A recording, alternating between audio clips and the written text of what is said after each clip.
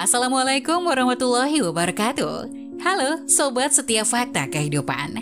Tidak lupa kami sampaikan salam sehat, salam sejahtera, semoga tercurah segala bentuk kebaikan dan juga kita semua dalam lindungannya. Seperti biasa, kita akan berbagi kisah dari yang unik, menarik, sampai bikin nangis.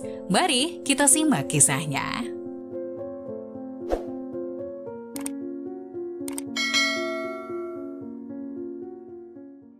Rumah baru itu ditinggali oleh pengemis tua. Dua tahun kemudian pengemis itu pergi dan meninggalkan karung. Dia terkejut saat membukanya.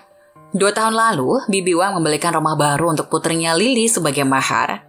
Pada hari mereka mendapatkan kunci, dia dan putrinya pergi untuk melihat rumah baru. Tapi begitu mereka membuka pintu, bau aneh datang dari dalam rumah. Kemudian mereka menuju balkon dan dikejutkan oleh pemandangan di depan mereka. Dia melihat seorang pengemis tua berbaring di balkon, berdengkur dan tidur. Lili memegang tangan ibunya dan menendang pengemis tua agar bangun. Hei, siapa kamu? Kenapa kamu tidur di rumah kami? Aku akan memanggil polisi. Ketika pengemis tua itu melihat seorang datang, dia segera bangun. Oh nyonya, jangan panggil polisi, aku bukan orang jahat. Beberapa hari yang lalu, ternyata di luar sedang turun salju lebat. Pengemis tua itu berkeliaran di komunitas baru ini. Secara kebetulan rumah baru Lili berada di lantai pertama dan pengemis tua itu naik di sepanjang balkon dan dia tidur di sini untuk berlindung dari angin dan hujan. Lili mengerutkan kening. Aku tidak peduli, ini rumah baruku, cepat pergi. Mendengar ini pengemis tua itu buru-buru berbalik, mengemasi barang-barangnya dengan gemetar dan bersiap untuk pergi.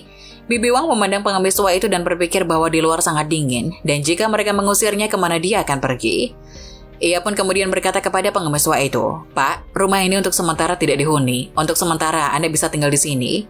Ketika pengemis tua itu mendengarnya, dia tidak bisa menahan diri untuk tidak membungkuk dan mengucapkan terima kasih. Orang baik, Orang baik, teriaknya.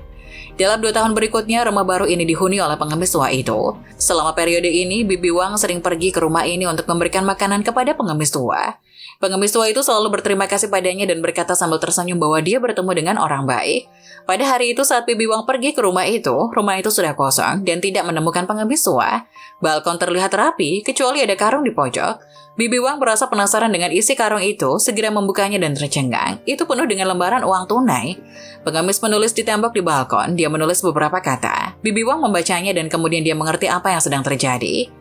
Ternyata dua hari yang lalu pengemis tua itu merasa tidak enak badan dan kemudian dia akan meninggal. Sementara dia masih bisa berjalan, dia berencana untuk kembali ke kampung halamannya. Uang dalam karung ini adalah hasil dia mengemis selama bertahun-tahun. Pengemis tua itu sengaja meninggalkan karung itu untuk diberikan kepada Bibi Wang sebagai ucapan terima kasih karena telah diizinkan tinggal di sana selama dua tahun. Bibi Wang menghitungnya dan itu lebih dari 110 juta. Sejak saat itu, setiap kali Bibi Wang melihat seorang pengemis, dia selalu memberikan sejumlah uang. Nah, bagaimana menurut kalian? Jangan lupa tulis pendapat kalian di kolom komentar ya.